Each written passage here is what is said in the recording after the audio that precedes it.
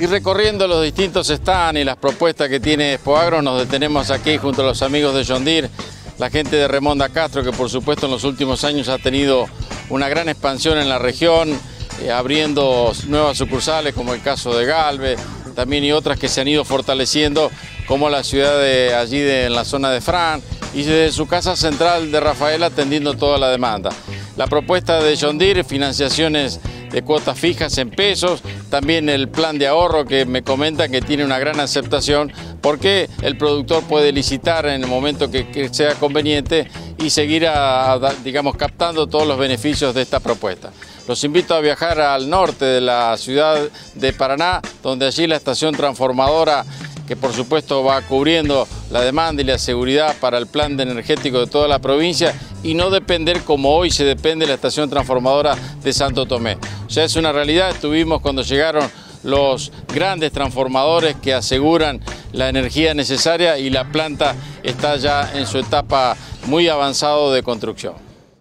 La obra de la TD500 ya está en un 80% de avance. Eh, este, todo lo que es obra civil ya está concluido, ya está haciendo la parte eléctrica y estimamos que los plazos que ya se había comprometido la empresa van a llegar, van a, van a ser los plazos normales. Así que si todo anda bien, este año vamos a tener ya en funcionamiento esta estación transformadora que se suma a las otras dos que tiene la provincia de Entre Ríos, una en, Salto Grande y la otra en Colonia Elía y eh, esta tercera va a brindar todo lo que es seguridad energética a lo que es la costa oeste de la provincia de Entre Ríos.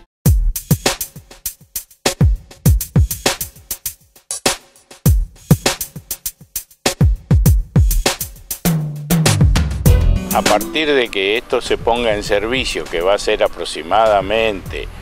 septiembre de este año, o a lo mejor unos días antes, va a permitir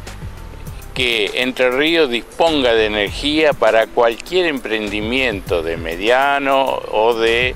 eh, gran industria, porque no va a tener ninguna limitación en cuanto a su demanda de energía para, para cualquier tipo de actividad que se quiera establecer en la provincia. Una pyme o una gran industria va a contar con la energía que hoy en día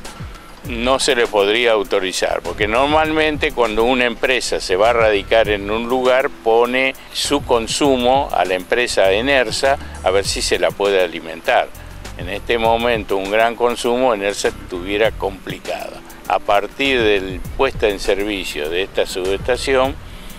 cualquier empresa que demande energía va, a poder ser cubierto de acá a 20 años. ¿no? Hay una gran capacidad y una gran obra para el Entre.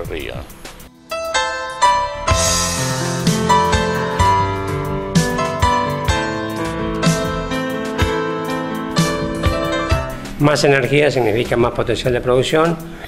A veces se da la situación de que hay zonas donde tenemos, eh, se llega con, poco, digamos, con poca energía, pero esto va a dar realmente potencial y vamos a tener que seguramente acompañar con toda una serie de obras complementarias para aprovechar todo esto que, nos va a brindar la, la estación transformadora de 500.